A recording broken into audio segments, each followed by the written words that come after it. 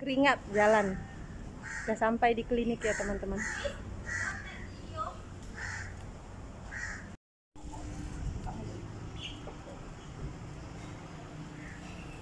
Di dua hari sebelum VCR itu, aku memang ada rasa badanku itu lemas, loyo, sempoyongan gitu ya teman-teman. Alah, pokoknya rasakan dulu sakit di negara orang, tapi alhamdulillahnya itu di sini aku ada mama, ada adekku, ada bibiku dan semua teman-temanku tuh selalu mendukung ya teman-teman.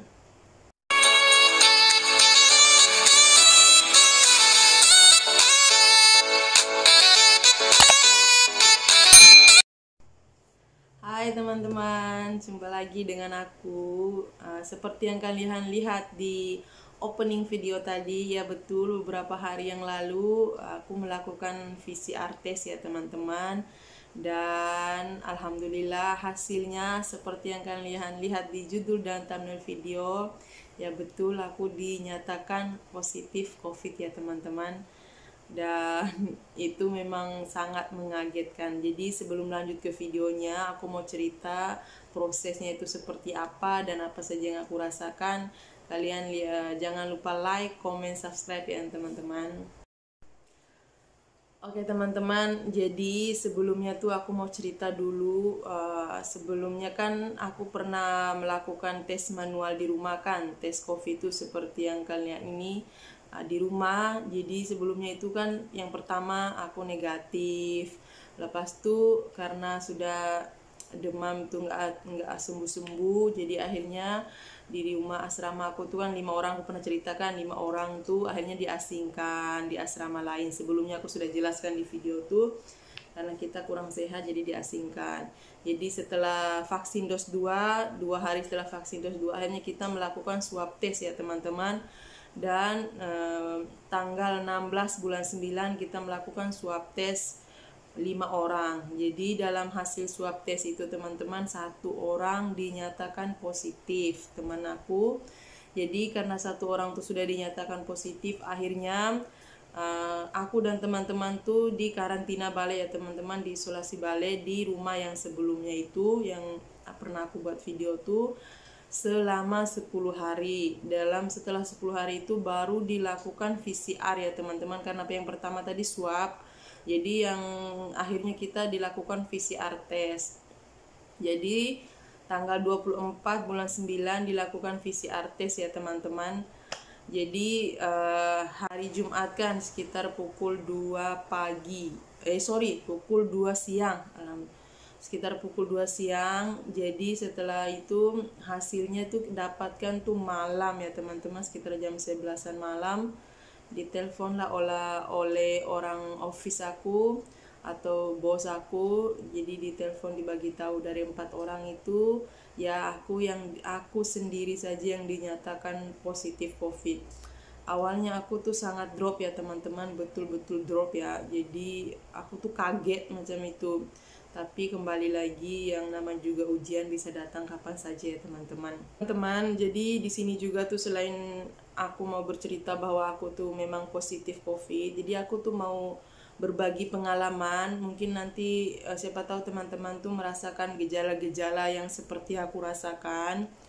Jadi ya teman-teman uh, gejala pertama yang aku rasakan itu uh, aku awalnya tuh sakit tenggorokan ya teman-teman malamnya tuh. Lepas tuh setelah pukul 2 malam aku macam kesejukan badan menggigil seperti itu awalnya satu. Udah lama teman-teman sudah sekitar satu bulan yang lalu tuh aku sakit. Aku tuh memang lumayan panjang teman-teman tapi bukan yang uh, istilahnya itu parah sangat.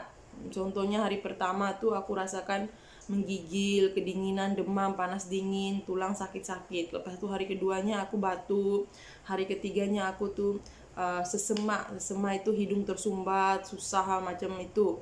Jadi gejala-gejala itu tuh uh, tidak berlarut panjang teman-teman. Jadi aku masih boleh kerja dalam proses itu masih boleh kerja.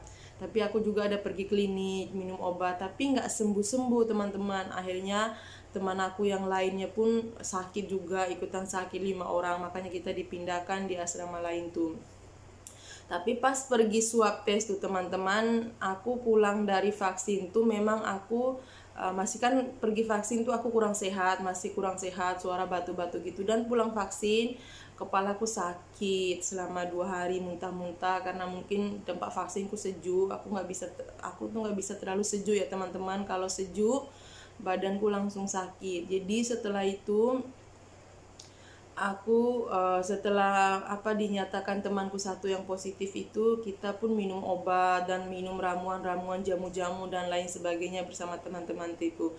Tapi dua hari sebelum VCR itu aku memang ada rasa badanku itu lemas loyo sempoyongan gitu ya teman-teman dua hari sebelum melakukan VCR tuh. Jadi aku tuh mikir lah ya Allah kenapa ini macam lain rasanya macam kita nak berdiri saja susah nak bangun sholat pun berdiri pun susah macam nak jatuh seperti itu ya teman-teman pengalaman aku tuh. Jadi pas sudah pulang VCR tuh aku sudah merasa lah macam ya Allah kok lain gitu. Apa ini? macam itulah. Tapi aku tuh masih berpikir positif thinking.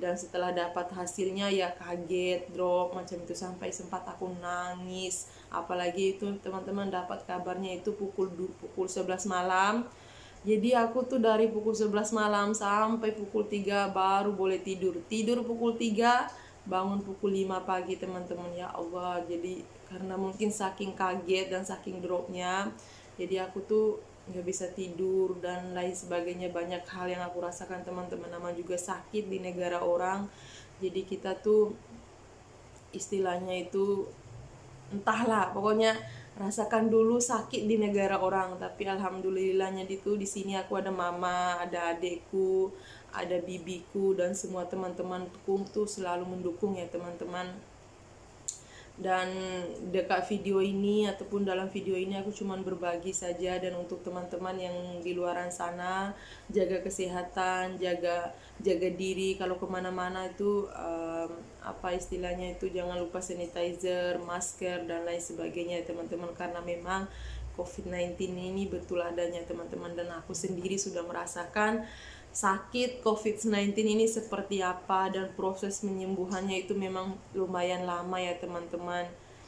Oke teman-teman mungkin itu saja video pengalaman aku hmm, COVID itu seperti apa dan next video aku mau berbagi lagi uh, karantina aku tuh seperti apa dan di mana apa saja yang aku lakukan selama karantina dan semoga video ini bermanfaat ya teman-teman. Jangan lupa like, comment, subscribe, and share. Dan kita jumpa di next video. Bye-bye.